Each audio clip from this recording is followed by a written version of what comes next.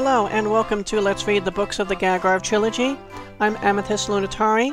Today I'll be reading The Decree of the Foundation of the Adventurer Guild, which I found right here in Phildin Castle. The Decree of the Foundation of the Adventurer Guild. The Adventurer Guild is a private organization. It certifies people who possess some skills in fighting or spellcasting and contracts them out to solve a variety of problems for the people.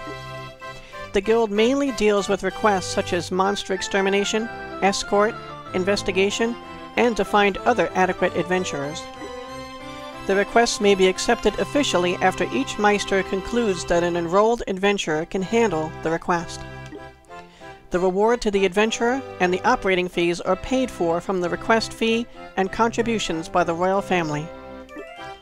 Meisters set the appropriate fee after considering the request.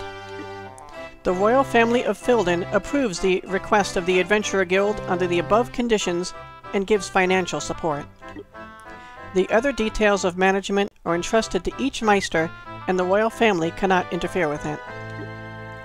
August 26 in Gagharv, year 918, recorded by Milligan Nord Elfidinia.